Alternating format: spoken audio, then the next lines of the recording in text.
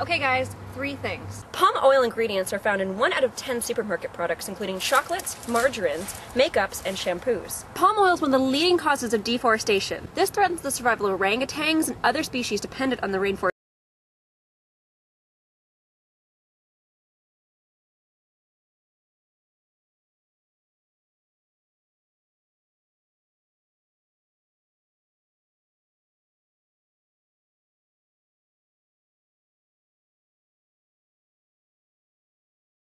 There's no protections for biodiversity and endangered species like the orangutans. And the orangutans then lose their food sources and their shelter and their homes.